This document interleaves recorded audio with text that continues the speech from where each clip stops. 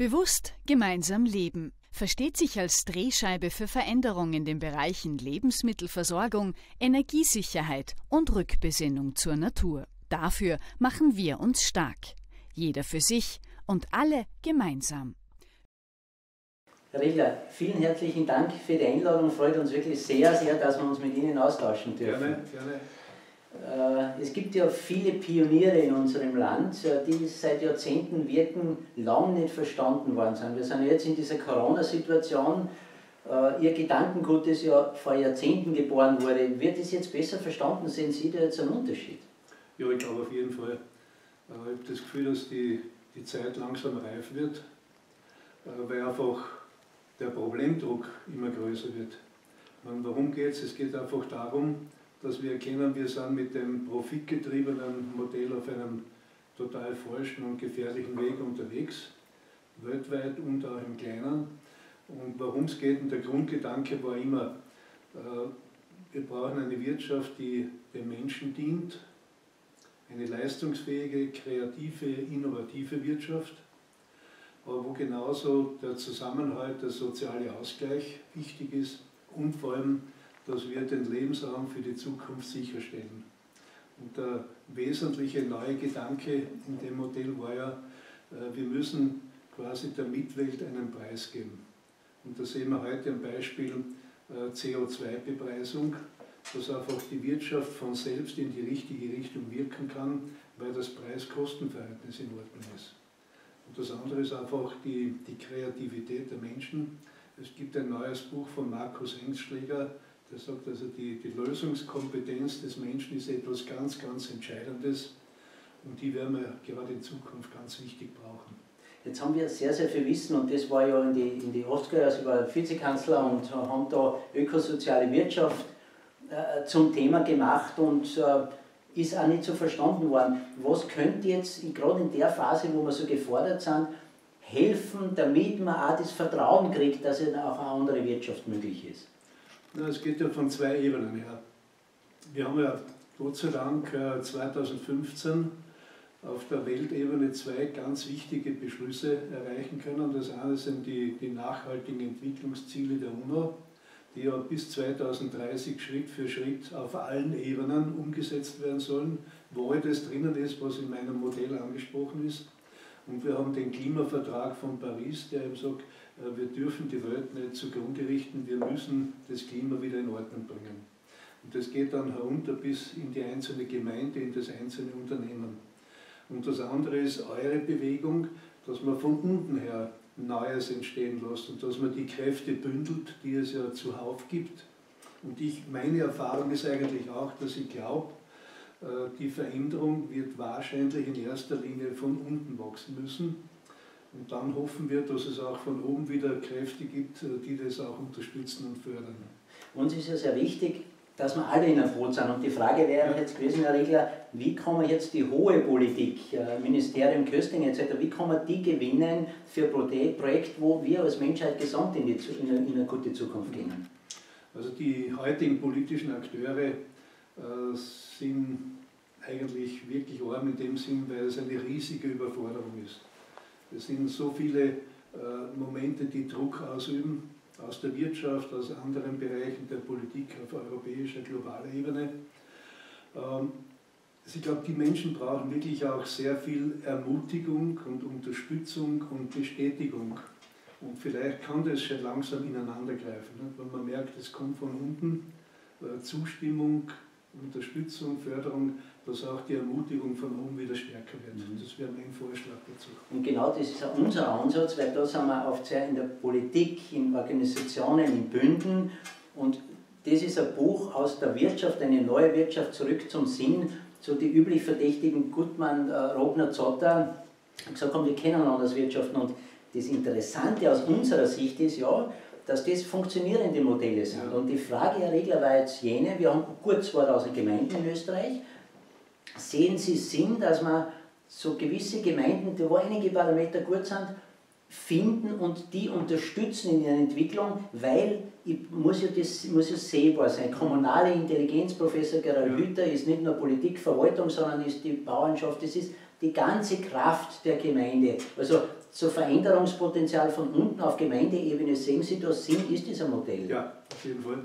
Es gibt ja irrsinnig viele positive Beispiele, äh, vor allem im Bereich der, der kleineren und mittelständischen Unternehmen, von der Landwirtschaft bis über Gewerbe, Dienstleistungen. Und natürlich gibt es auch Gemeinden, die äh, da auch im positiven Vorreiter sind. Und ich glaube, dass man ganz, ganz viel erreichen kann, wenn man solche positive Beispiele A entdeckt und B auch aufzeigt, sie auch sozusagen vor den Vorhang stellt und sagt, schaut mal, so geht's. Ne? Und das ist dann die, die gegenseitige Bestärkung, beziehungsweise auch, äh, dass andere ermutigt werden, in eine ähnliche Richtung zu gehen. Und wenn euch da in der Vernetzung einiges gelingt, ist das ein ganz, ganz wichtiger Beitrag. Sie waren ja Geschäftsführer äh, Bauernbund. Ja. Äh, unter anderem, wie sehen Sie die Bauernschaft jetzt so als Säule, als, als, als, als Faktor für Regionalwirtschaft, für unser Land? Wir haben Gott sei Dank in Österreich einen agrarpolitisch von Beginn an anderen Weg eingeschlagen. Das geht jetzt zurück bis in die 50er, 60er Jahre. Ich kann mich erinnern, es war Ende der 60er, gab es in, in Europa das Schreckgespenst des Mansholt-Planes. Ja der hat die Vorstellung gehabt, es müssen lauter agrarische Großbetriebe werden. Und der damalige Bauernbundpräsident Wallner, ein Steirer, hat gesagt, Mansholt ist für uns kein Prophet. Also man hat damals schon gesagt, wir setzen auf die bäuerlichen Strukturen. Mhm. mhm. Und die habe ich dann 1987 mit dem ökosozialen Modell eben einen alternativen Weg äh, begangen. Ich habe gesagt, wir wollen die kleinräumige Struktur stärken und das hat Österreich dann ja auch in die europäische Agrarpolitik mit hineingebracht. Da hat auch Franz Fischler sehr viel geleistet mit dem Umweltprogramm, mit den Ausgleichszahlungen für die Bergbauern, äh, mit der Förderung neuer Innovationen. Also Österreich ist innerhalb der Europäischen Union sicher das positivste Beispiel, wie man bäuerliche Strukturen auch in die Zukunft führen kann. Und wenn ich mir umschaue, wir haben hunderte Beispiele von kreativen, innovativen bäuerlichen Familien, die Großartiges leisten, mit neuen Kulturen, mit, mit neuen Formen auch der Verbindung zwischen Bauern und Konsumenten oder Genossenschaften, Verarbeitungsunternehmen. Also da ist sehr viel Gutes auf dem Weg. Ich bin da sehr zuversichtlich. Und genau diese Leuchttürme wollen wir ja in dem Sinn aufbauen, ja. dass diese Zellen strahlen und einfach eben schon bewiesen haben, dass es ökosoziale Wirtschaft auch funktioniert, ja. auch in dem Sinn monetär, was ja oft in Frage gestellt wird. Und dass dieses förderliche Umfeld, glaube ich, gerade in Zeiten wie diesen ganz wesentlich werden. Was wäre denn jetzt, weil ja doch viele Menschen automatisiert handeln, sie oft keine Fragen stellen, was werden ein Impuls an jeden Einzelnen in unserem Land, was kann jeder Einzelne tun, damit wir gesamt in eine gute Zukunft gehen? Na, ich glaube, wir brauchen im Grunde die, die Rückbesinnung auf das, was ist äh, in meinem persönlichen Leben letztlich das Entscheidende. Wo ist, wo ist der Sinn meines Lebens? Äh, da gehört sicher Arbeit und Wirtschaft dazu, aber es kann sich nicht nur in dem erschöpfen. Das ist die Frage der, des familiären Zusammenhaltes, das ist die Frage, wie komme ich mit meiner Nachbarschaft, mit meiner Gesellschaft im positiven Sinne in Kontakt. Also, und das ist in, in dem äh, Bücherl von, von Zota etc. gut herausgearbeitet. Also wir müssen wieder den Sinn des Lebens ins Zentrum stecken und alles andere fügt sich dann ein. Ja. Es ist eines interessant, Herr Riegler, so, wo man sagen, was ist die Zelle, dann kommt Karl Siegertsleitner, Altbürgermeister von Steinbach und Steyr, hat uns äh, verbunden, auch ein großer Pionier, Helmut Mödelhammer etc. Sie, sie gehen immer an die kleine Zelle, wir wollen die ganze Welt verändern, aber ich glaube, der Schlüssel ist schon das, dass wir sagen, hier beginnen wir bei uns, mhm. schauen wir, dass wir funktionierende Familie, funktionierendes Umfeld haben und dann das nächste wäre die Gemeinde und dass wir eben so ganz sinnige Dinge wieder gemeinsam kochen, Austausch, Sozialleben in dem Sinn wieder schaffen, dass wir eine gewisse Reduktion durchaus als Vorteil haben, oder? Ja, ich sage immer, die ökosoziale Idee ja, ist natürlich eine, die letztlich auch auf globale Dimensionen absteckt, aber beginnen tut es einmal beim einzelnen Menschen persönlich. Das heißt, wie gestalte ich meinen ökologischen Fußabdruck, also wie gestalte ich mein Leben, dass es sozialverträglich ist, dass es umweltverträglich ist, dass es in der Sinnfindung äh, fundiert ist. Und das geht dann weiter auf das Unternehmen. Wie agiere ich als Unternehmen, ob jetzt größeres oder kleineres, ist ja äh, letztlich zweitrangig. Das heißt, wie gehe ich um im Sozialen, im Bereich mit dem Lebensraum und natürlich auch in der wirtschaftlichen Nachhaltigkeit im Erfolg. Das geht dann weiter. Eine ganz, ganz wichtige Ebene ist die Gemeinde, mhm. weil dort kann ich die Lebensumstände noch direkt gestalten. Ne? Äh, wie gehe ich um mit dem Landverbrauch? Ja? Äh, mit Zersiedelung oder mit einer geordneten Entwicklung? Äh, mit, mit Versorgung, Entsorgung? Mit dem gesellschaftlichen Zusammenhalt in der Gemeinde. Und dann kommt eben die politische Ebene, Bundesland, Staat, Europäische Union. Mhm. mhm. Und letztlich das ist schon der, die Herausforderung, die wir haben. Wenn wir äh, nicht in der Sackgasse landen wollen, dann brauchen wir auch auf globaler Ebene eine neue Orientierung. Das amerikanische kapitalistische System äh, ist an die Wand gefahren. Meine, wir merken das schon, äh, manche tun noch weiter, aber im Grunde wissen wir, so kann es nicht gehen. Ja? Äh, das kommunistische System ist auch an die Wand gefahren. Also in Wahrheit gibt es nur das Modell der Balance, wie es eben der ökosoziale Gedanke ist. Das heißt, Wirtschaft, Mensch, Lebensraum muss ineinandergreifen, mhm. muss entsprechend ausgeglichen sein.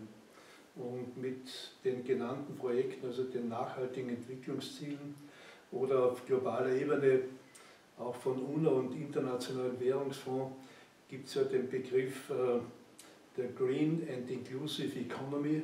Das ist nichts anderes als das soziale mhm. Modell, mhm. nämlich äh, Ökologie, Soziales und Wirtschaft mhm. müssen ineinander greifen. Mhm. Das ist der Weg in die Zukunft. Ja. Wer da jetzt, ich sage mal, Sie als hoher Politiker, ist es realistisch, dass ökosozial agierende Unternehmen auch steuerliche Vorteile lukrieren, also dass das auch bewertet wird? Ja, gut, man kann, das ist ja auch eines der Dinge, äh, um ökosoziales Wirtschaften voranzubringen, äh, brauchen wir auch ein Steuer- und Rechtssystem, das eigentums- und leistungsfreundlich ist, vor allem freundlich in Richtung neuer Innovationen. Ähm, da haben wir ja eklatante Fehlentwicklungen. Wir haben die, die massive Bevorzugung der fossilen Wirtschaft mhm. und wir haben auf der Globalisierungsebene die größten Ungerechtigkeiten in der Besteuerung. Und wenn man hernimmt, äh, die, die Internetgiganten haben es geschafft, dass sie praktisch keine Steuer zahlen, mhm. während jeder Arbeitnehmer und jeder kleinere mittelständische Unternehmer die volle Last zu tragen hat. Also das sind solche schreiende Ungerechtigkeiten, die gehören dringendst angegangen und, und abgestellt. Und das ist eine der wichtigsten Voraussetzungen für eine nachhaltige Entwicklung. Mhm. Äh, Herr Riegler, abschließende Frage. Sie sind ein Visionär der Zeit Jahrzehnte voraus, wenn wir jetzt nur zehn Jahre vordenken. Jetzt in der Situation, wo es um Neuorientierung, um Loslassen geht, vieles funktioniert, wenn wir dennoch vielleicht eine Chance drin liegt. Wie werden wir denn in zehn Jahren aufgestellt sein? Ja, wenn wir Zukunft haben wollen, dann müssen wir in zehn Jahren erstens den, den Schritt von der fossilen zur solaren Zivilisation einen gewaltigen Schritt weiterkommen sein. Das heißt, dann werden halt Themen wie äh, grüner Wasserstoff, äh, synthetischer Treibstoff, der umweltverträglich ist, äh, auch neue Formen der Mobilität und eben ein Wirtschaften, das wieder auf den, auf den Schutz des Lebensraumes und auf den Schutz und die Entwicklung des Menschen abgestellt ist. Mhm. Das heißt, im Prinzip wird es ein, ein ökosoziales Modell sein, wie man es dann nennt. Mhm. Da braucht man aber, äh, glaube ich, auch die dann äh, von unten, weil Sie gesagt haben, äh, Thema Energie, Wasserstoff haben wir ja den Herrn Fronius ja. an Bord, Vision 24 Stunden Sonne, der hat die vor 28 Jahren gegründet. Wer gesagt hat, was will er damit? Wie kann man 24 Stunden Sonne Speicherkapazität ja. machen? Also da gibt es offensichtlich einen tiefen Antrieb bei Ihnen allen der uns in eine gute Richtung führt und wir als bewusst gemeinsam leben, wollen ja das fördern, wollen das bündeln, wollen das in dem Sinn mehrheitsfähig machen. Vielen, vielen Dank für Ihre Arbeit, für Ihr Wirken, Herr Riegler. Dankeschön. Viel Erfolg. Ja, alles Gute.